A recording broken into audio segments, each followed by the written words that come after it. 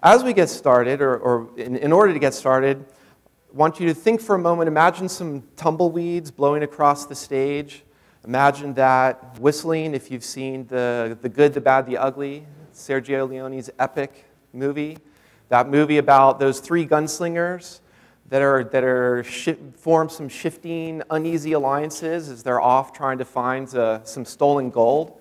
There's a great quote from Blondie, uh, that's the good one, Clint Eastwood, who says, $200,000 is a lot of money. We're going to have to earn it. If you've ever participated in a bug bounty program, $200,000 is a lot of money. You also have to earn it. If you've ever run a bug bounty program, $200,000 is a lot of money to spend. So you also want to make sure you spend it wisely. And that's a little bit of what this presentation is about. How do we spend our time and our money wisely? And how do we manage that throughout different types of crowdsourced security models? Because one of the ways we can manage is Clint Eastwood's way.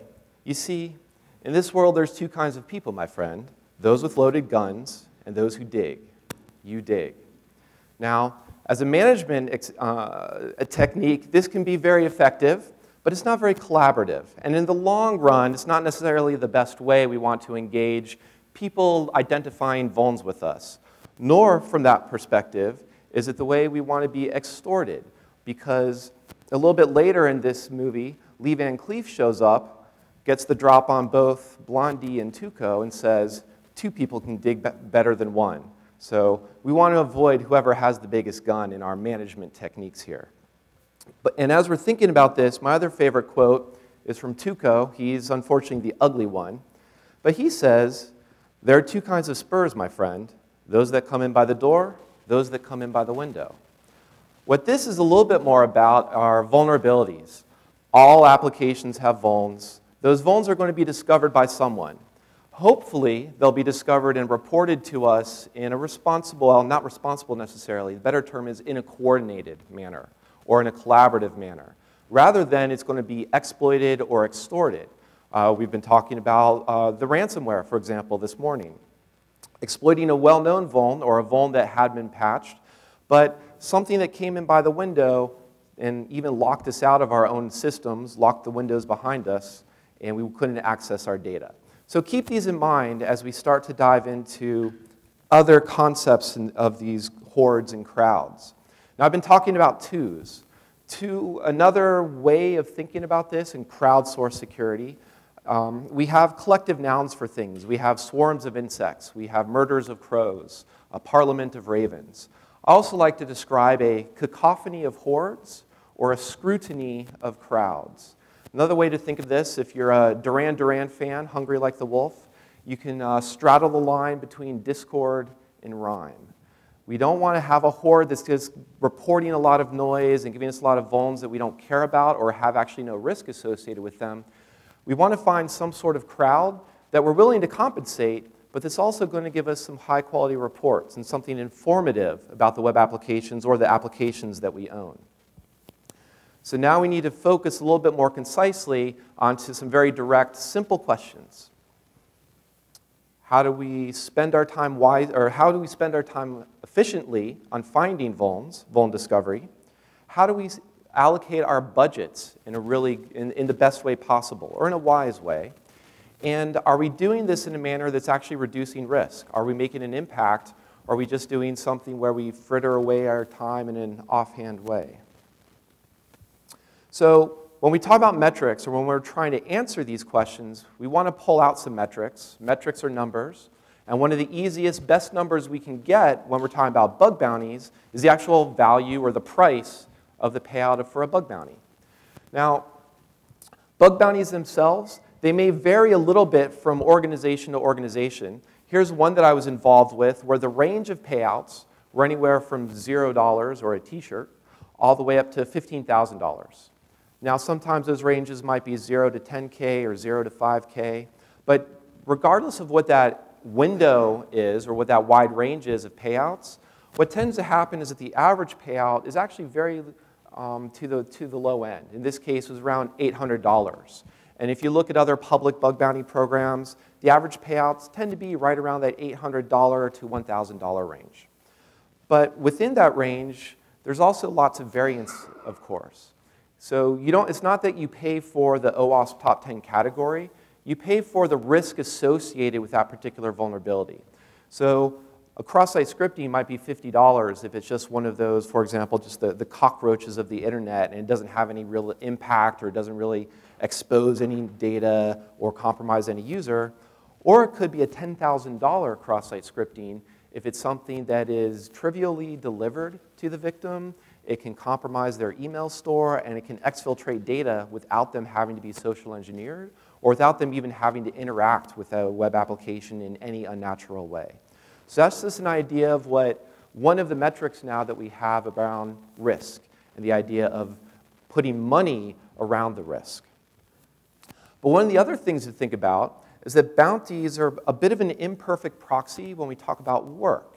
When we start to examine bounty programs or we start to examine who is making the most reports or who is earning the most money, it tends to be the case that some small X percent of those researchers are contributing 50% or earning 50% of those bounty payouts.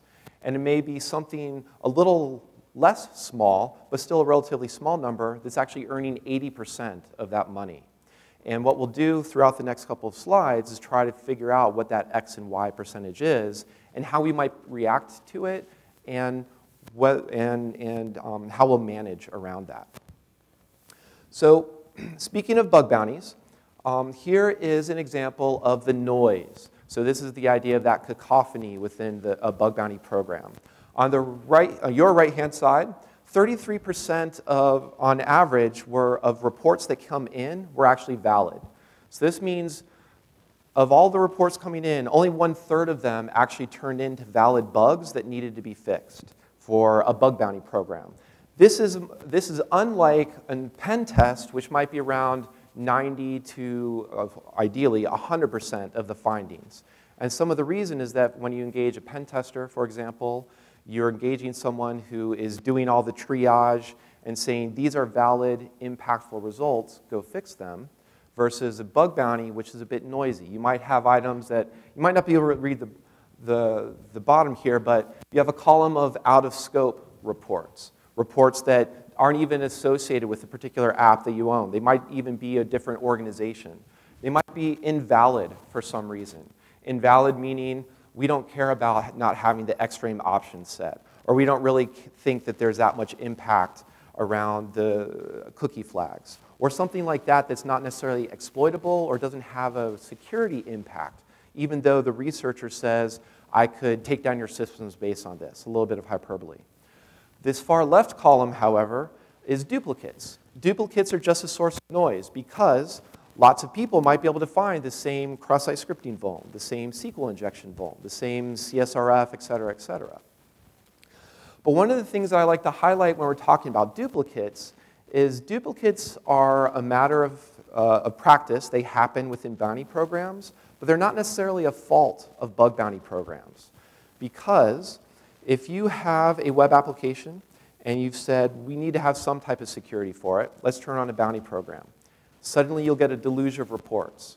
If you're not prepared to be able to fix them within even one day, let alone seven days, but if it's taking 30 days or 60 days or 90 days to fix these vulnerabilities, that's a large window of opportunity where more and more people are going to report these types of vulns and build that noise, build those duplicates within your program. And those duplicates are, they, they cost time just to be able to say, yep, I've seen this before, need to mark it off.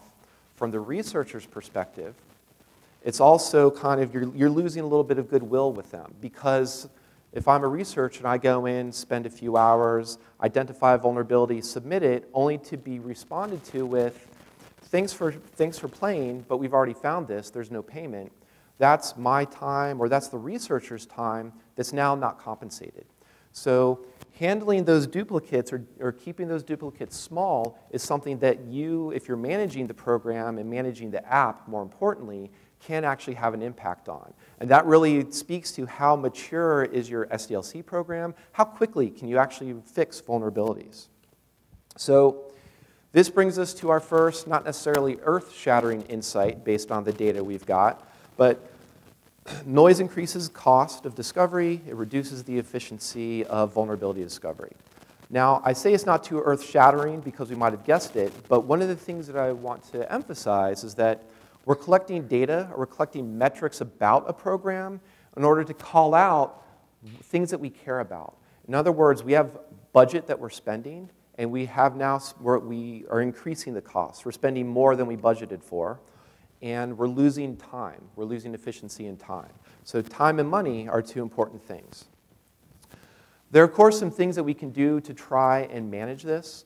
I like to call out just the, the top and the bottom. Simple documentation, as well as documentation that's going to change over time. Keep a change log for it. Drop it in a GitHub, put it on a wiki. But also the very bottom is work under reasonable threat models. There's a lot of noise that comes in through bug bounty programs because people will say, I found this bug, or theoretically, or oftentimes you'll also see comments that start off with something like, if the same origin policy were broken, or if I were able to execute a script on your website, then I could do this. Or, you know, if the planets were aligned, then this could happen. These are a lot more theoretical, a lot less realistic, and they cause a lot, of, they, they add just to a lot of noise into those, those programs. So that's why there's the idea of focus on a realistic threat model. What do you really care about within this app? What's the nature of the data in there? Now, as I continue on to the next few slides, I'm going to be making some comparisons between bug bounties and pen testing. And the idea here is not to place one as better or worse than the other. It's more to give us some different ways of looking at this problem and different ways that we might want to spend our time and spend our security budgets on the idea of vulnerability discovery. So before we get into those comparisons, I wanted to pull up just a list of data that I had available, looking at the OWASP top 10 and what tended to be reported between bug bounty and, and uh, pen test programs. So three things really stand out. At the very top, pen tests tend to report a lot more uh, vulnerabilities related to authentication and session handling. This perhaps isn't too surprising because the nature of pen testing typically is, here are some credentials, please go find all the vulnerabilities within it. And these are credentials that, aren't, that are for applications that don't necessarily have self-registration or easy free registration, where random bug bounty researchers might be able to do that. So that might explain why pen tests report more of those. On the other hand, down here, we have sensitive data exposure and misconfigurations that bug bounty tend to report those in more categories. Sensitive data exposure is possibly explained by the fact that it's a great bang for the buck. Uh, ideally, every application out there does care about user data and privacy. So anything that's like a sensitive data exposure tends to be higher risk, therefore tends to be a higher payout. From the researcher's perspective, they can also be pretty easy to discover and reproduce and explain.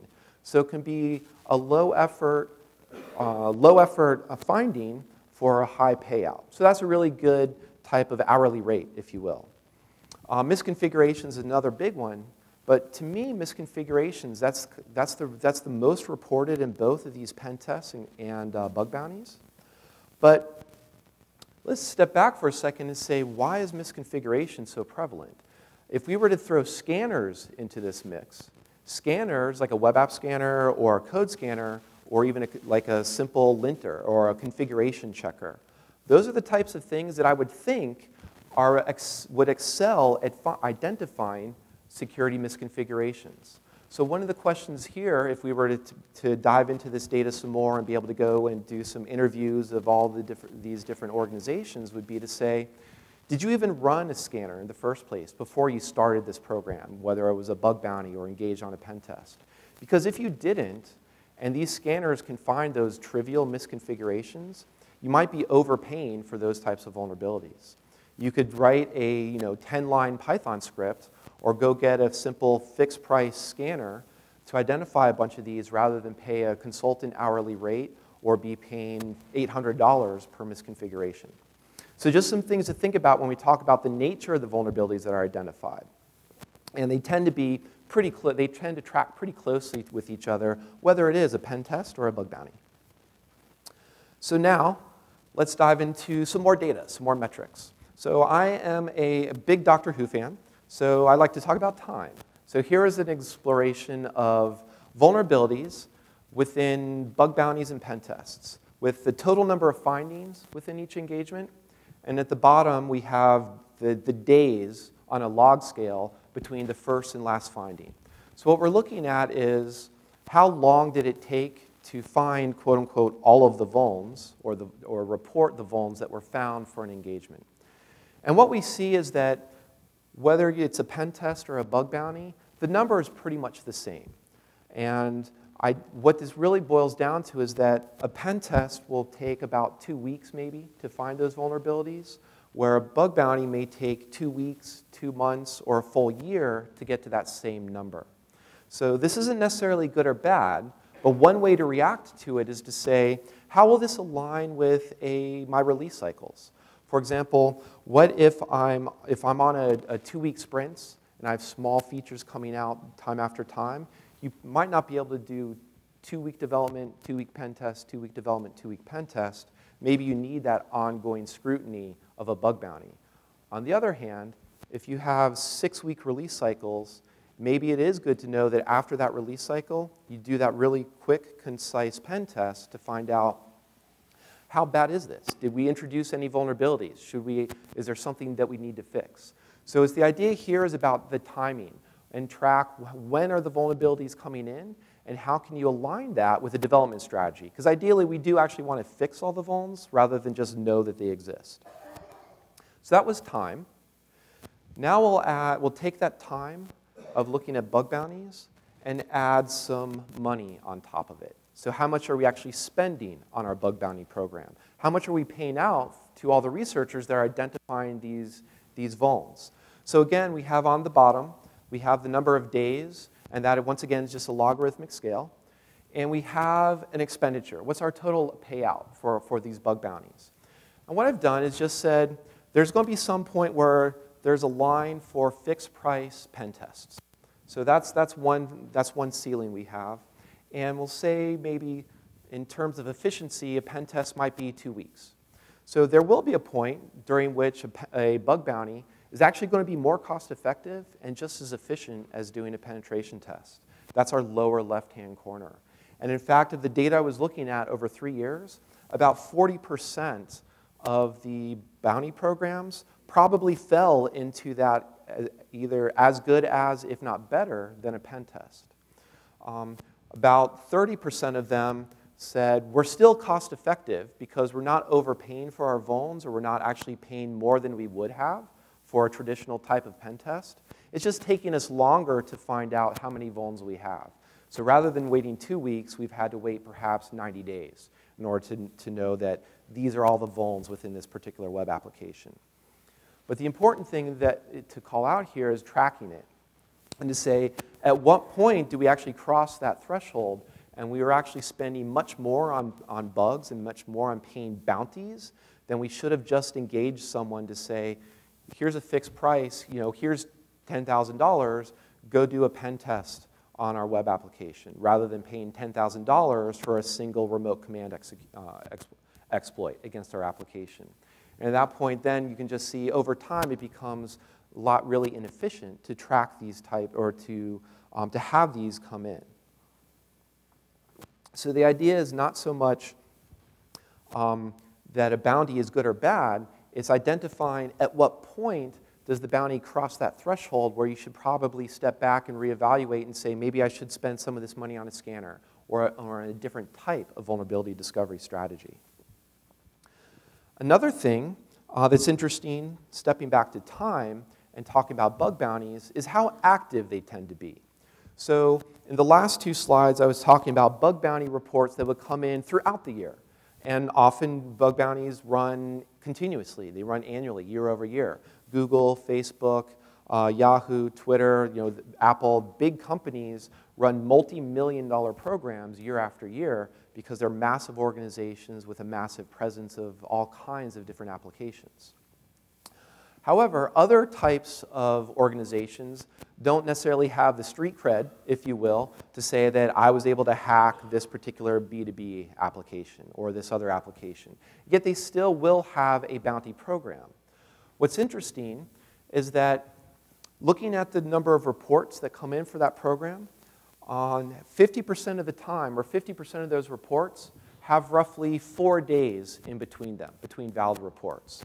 So if we're trying to model this or build up sort of a predictive model, we can imagine and say we'll probably get two reports per week.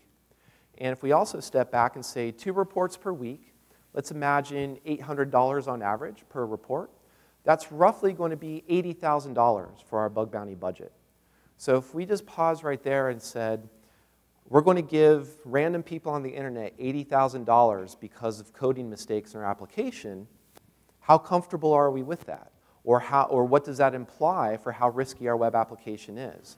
Maybe if we're dealing with PCI data and the types of fines that can come from cardholder exposure and you know, not being able to handle credit card information, if our, you know, if our, um, uh, if, if our um, certification is revoked, $80,000 might be a great thing. We'll pay that over throughout a year just to make sure there's no vulns out there and we can get them fixed. On the other hand, maybe that's too much. Maybe, maybe we, we should say we're actually collecting uh, or we're handling a lot data or the type of data that's worth a lot more than $80,000. So maybe our budget should be double that or something like that.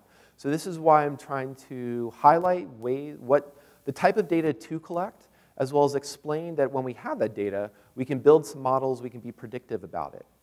And some other things that we can do, returning to our graph here, is to say what happens after 20 days when 95% of all the vulnerabilities had about 20 days or less in between a report. Let's say it's been 21 days, or it's been 30 days, or it's been 60 days, and we haven't had a valid vulnerability come in for our application. There's a couple ways we can react to this. One, we might be really optimistic and say, fantastic, all of the vulns have been found. Now, that might be a valid statement if you're talking about a legacy system. In other words, a system that's not really changing very much throughout uh, over time. Maybe that, that, that when that fall off point means that all of the easy or all of the obvious vulnerabilities actually have been identified.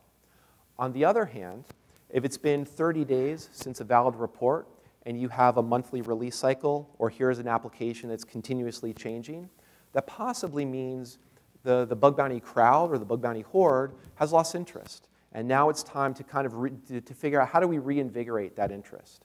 Maybe it's something where we'll say we'll double all of the, the bounties. So we'll pay twice as much now, and maybe that will attract them back. And if we can also pay twice as much, maybe that also, hopefully, conveys that we have more confidence in the controls and the security that we've built into our web application. Maybe it's also a point to say, it's been a long time since anyone's looked at this, maybe we should run some more scanners, or maybe we should engage a pen test because we just released a major feature. So it's another way to say, what's the time look like and how, are, how, how much are people paying attention to this pro, uh, bounty program? And I mentioned before, too, this is just another example of the idea of building those models. So the previous model I was describing was the idea that we'll maybe spend $80,000 on our bounty program, just uh, based on napkin math. Obviously, it can vary quite greatly based on the nature of the application, the maturity of the SDLC behind it, whether it's active development or not. But one of the other things we can do is that if we also can go back and think about the noise of a bounty program, how many invalid or duplicate or out of scope reports came in, there's a lot of triage time in there.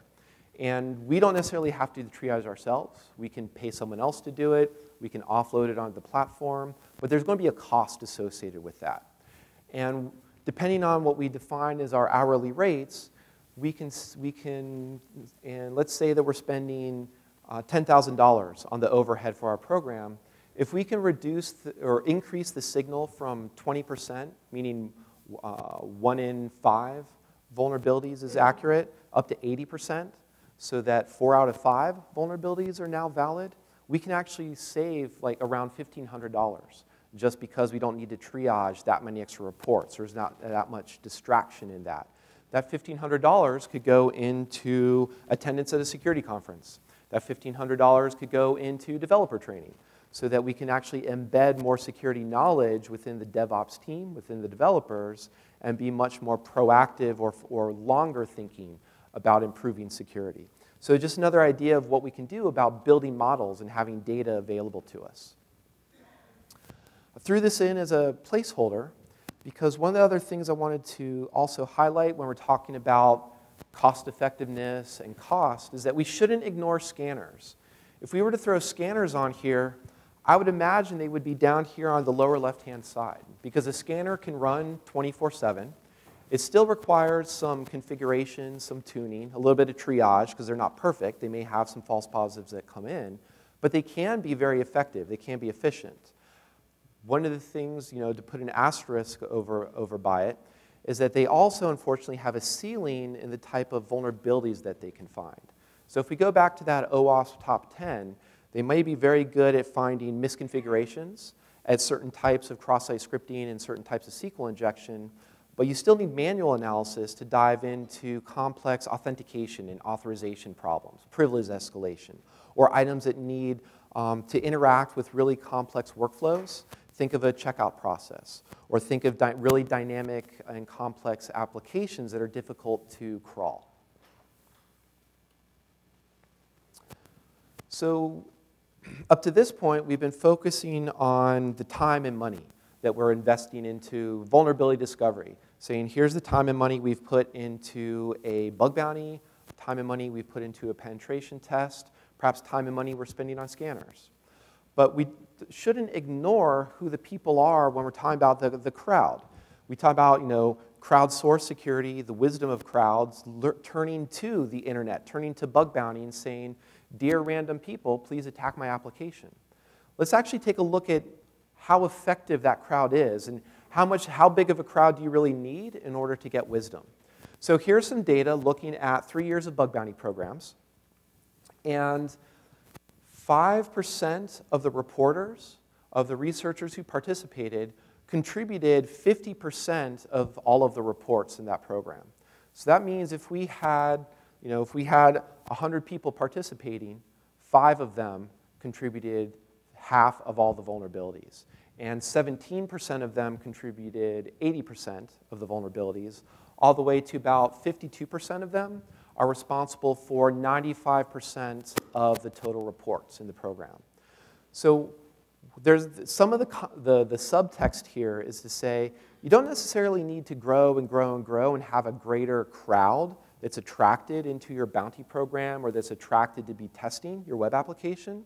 Because it might be the case that for every 20 people you're adding, only one of them is actually really contributing the majority of the findings. So maybe what, what would be smart to do is to say, who are these 5%? Who's this small cohort of researchers? And if this is a number like 10 people, 20 people, 30 people, that's the group of people that you can go back to and say, you know what? My bounty program has gone stale. It's been a month. I haven't received any vulnerabilities. I'd like to engage you, and I'll pay you, the smaller group, double bounties. Or you know what? We have a feature here that we don't know if it's been tested really well. We're going to give you $500 each just to look at it, whether you find something or not. In other words, sort of a hybrid type of pen test. And what you're doing then at that point is saying, We've identified some people who are skilled. Clearly, they're reporting a lot of items, so they're going to find things. And if they don't find something but they've examined it, that's also good confidence because maybe they can give us that positive feedback about our security that says, in fact, there's no vulnerabilities that we can find, but we did look. And that's a little bit different from the ad hoc, sporadic nature of a bug bounty program that's just more about a one hit wonder or here's a vuln, here's a vuln, but you don't necessarily know what's been tested. Now, I have been comparing bug bounties and pen tests. So if we look at, this was bug bounty data. Here is pen test data. And it's pretty close. It's relatively similar. In this case, 12% of the pen testers were responsible for half of the vulnerabilities found. And a full two-thirds, 67%, were responsible for 95% of the vulnerabilities found. So you have a little bit of higher participation or a little bit of uh, a broader distribution of who's finding things. And this maybe you could explain by saying that pen testers have um, more consistent skill, more consistent experience in the types of vulnerabilities they're looking for. And the other thing you could say is that they're also going through methodologies. So they're going, rather than just saying, I want to find a cross-site scripting or I want to find that sensitive data exposure that's going to get me a lot of money, I'm going to focus on this particular type of vuln, see if it exists, then go to the next one, then go to the next one, go to the next one. So what a pen test is going to do is just give you confidence in that feedback that says vuln wasn't found, but it was actually tested for. And I like to summarize this up because we're still, we have people always looking at this.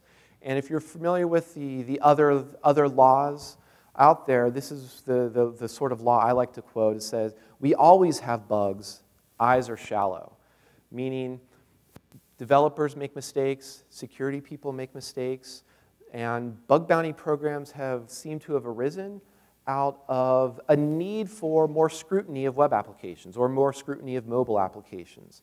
But one of the things I'm curious about is have we forgotten about automation? Have we forgotten scanning? Or is scanning perhaps ineffective? It's not, effect, it's not keeping pace with the type of complex web applications that we're building. Because clearly, we need people to be able to close this gap between scanners. It's not like everybody has an open source scanner and they're scanning GitHub for things. And I like to summarize this as sort of a bug ops model versus a DevOps model, meaning just saying that we have a bug bounty program and we're going to put this on top of our web application as a security program isn't a smart strategy. That means we're just going to wait for vulnerabilities to come out into production, fix them as they come, and then move on. What we really should be aiming towards is a risk reduction, meaning taking those vulnerabilities and saying, why did this occur? Is this because of what kind of failure in the, in the development process? Was there a test for it? Could there have been a test for it? Great, let's add a test for it, if not. Was this out of developer ignorance? Does it actually go back to the classic case of developers need to know what SQL injection is, what prepared statements are? Does it go back to something like we're using a React front end that should have made it very, very difficult to create a cross-site scripting vulnerability, but someone is using the set dangerously HTML function call within React? which in and of itself already says, you know, it's already implying that you shouldn't be using this function, but maybe it's been there. And that's something that we could tackle with linting, or we can tackle with things like uh, git commit hooks, or saying that you shouldn't be using these particular types of functions. So another example to try to help illustrate this is talking about HTTPS. For at least two decades, maybe three decades, the InfoSec community has been saying, come on, use HTTPS, use HTTPS, please use HTTPS. Or they'll try to shame them and say, you're not using HTTPS. And there's been every year at a DEF CON, at a Black Hat, here's how you can do an intermediation, here's how you can intercept people's traffic at a coffee shop, et cetera, et cetera. But what I think really caused a positive change or contribution was the Let's Encrypt effort. What Let's Encrypt did was rather than say, either shame people and saying, you're not using HTTPS, you're, putting it, you're exposing everybody's privacy, or just asking nicely, please use HTTPS. They said, we understand what your problem is. There's at least two. There's the initial cost of getting a certificate, and there's the ongoing maintenance of it. And so rather than just ramble and say, we, you know, go fix this, go fix this, they took a risk reduction mentality and said, we'll now make it free to obtain a certificate, and using the ACME protocol and using the open source tools that we have available will also make it easier to manage certificates on an ongoing basis. So rather than just say, use HTTPS, use HTTPS, they said, what's the real problem? Why, is, why aren't people using HTTPS? And they went and tackled at least two of those solutions, that initial, pro, that initial cost and ongoing maintenance. So if we return again to the idea of looking at our applications, um, codifying the risk with them. If we were to say, here's tracking pen test data, but we could do the same thing with bug bounty data, we could chart what are the number of findings associated with our web application or with the, with the target app we had, and what's the average risk of those? We would start to see quadrants, and we're just looking at these relative to each other. The risk here is a simple calculation of impact times likelihood. It could be CVSS scores, it could be sad faces, happy faces. The point is, it just needs to be consistent within what you're tracking and how you're tracking them. So set up what the risk looks like for all the apps that you're tracking, and then say, we want some strategies. And our strategies are going to be things like increasing a number or decreasing a number, or we want to target a particular vulnerability class. We want to do something that says SQL injections should no longer exist, so we're going to go and review and make sure we're using prepared statements. Or we're using, we're going to deploy content security policy to help us mitigate a lot of cross-site scripting. But the point is, we'll have some type of strategy that we can measure, and we're going to track as a goal, and we're going to see what happens on our risk matrix.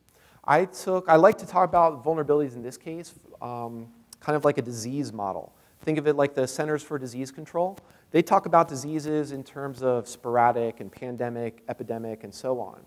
An epi or a pandemic application is, is some application that has lots of findings and all of them are high risk.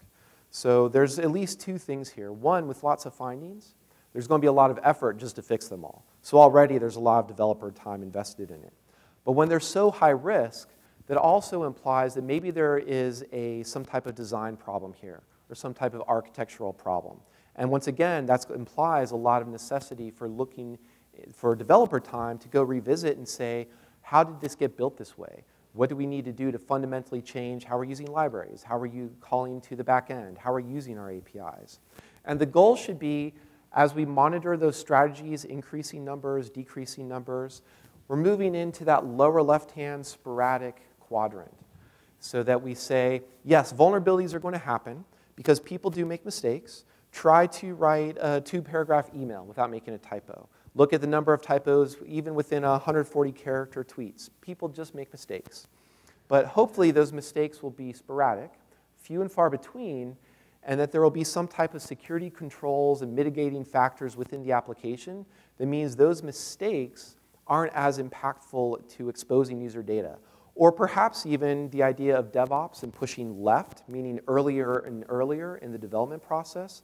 Maybe some of those vulns are getting caught earlier on because we have linters, or because we're, we're blacklisting certain functions that we know are misused, or we're using code scanners, or we're using dynamic scanners, or we have QA environments now that we can do our testing on much more successfully. So this is what we're focusing on on a risk uh, metrics perspective or risk management to try to get down to that lower left-hand corner.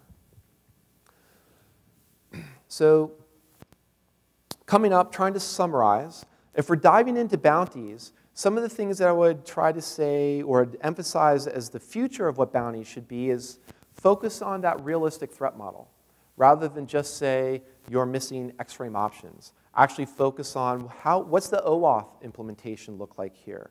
What does the uh, workflow look like for password recovery? Is multi-factor auth always in, enabled? Uh, what about different things around payment structures, things like that? Um, one of the other things that I think is interesting are incentive models.